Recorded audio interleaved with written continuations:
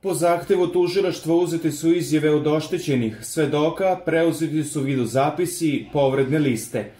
Poslaniku i lideru dveri Bošku Obradoviću osuničenom za incident ispred Narodne skupštine preti kaznom od šest meseci do pet godina zatvora ukoliko se odrekne poslaničkog imuniteta ili mu on bude oduzet, a bići saslušan uskoro pre oštećenog Marijana Rističevića sazne Blic. Prvo osnovno javno tužilaštvo u Beogradu zahtevalo je 8. maja od policije da prikupi dokaze protiv Obradovića i trojice muškaraca Mđ, Dđ i SM zbog sumnje da su napali poslanika Rističevića i ministra zdravlja Zlatibora Lončara. Po zahtevu tužilaštva uzeti su izjave od oštećenih svedoka, preuzeti su video zapisi i povredne liste. Kada je tužilaštvo obavešteno da je policija prikupila dokaze i nakon što je policija prezentovala ono što je prikupila, dati nalog MUP-u da podnese krivičnu prijevu protiv četiri osobe, među kojima je Boško Bradović. Protiv ostalih osuničenih ostaje prekršeni postupak, kaže izvor Blica, upoznat sa ovim slučajem. S obzirom na to da se u ovom slučaju radi o krivičnoj prijevi u redovnom postupku, te i da se ne radi o pritvorskom predmetu,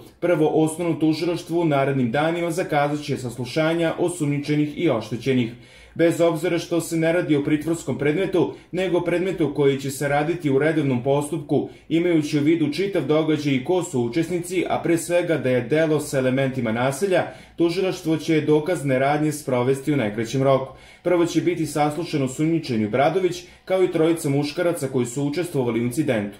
Nakon njih biće saslušan i oštećeni Lončar i Rističević, objašnjava sagovornik. Za krivično delo nasilničko ponašanje koje se Obradoviću stavlja na teret zakonom je predviđena kazna zatvora od 6 meseci do 5 godina. Da li će odgovarati za sada je neizvesno, s obzirom na to da je u ovom trenutku Obradović zaštićen poslaničkim imunitetom, te dalje tok postupka zaviseći od toga da li će ga se odreći ili će mu biti ukinut.